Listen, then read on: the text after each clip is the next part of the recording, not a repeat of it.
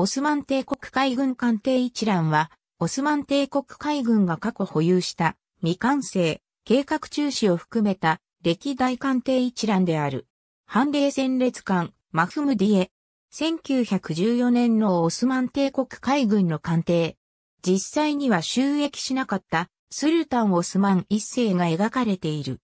装甲艦、戦艦巡洋艦通報艦水雷砲艦駆逐艦、アブデュルハミド不設艦艇総会艦艇輸送艦艇、砲艦水雷艇補給艦艇支援艦艇その他、ハット後に、アズイーズイーエ日本では、ネームシップを取り違えたことから、トゥルグトレース級とも呼ばれる。旧、クーアフィールストフリードリヒビルヘルム級、バイセンブルク英国が接収、エジンコートに、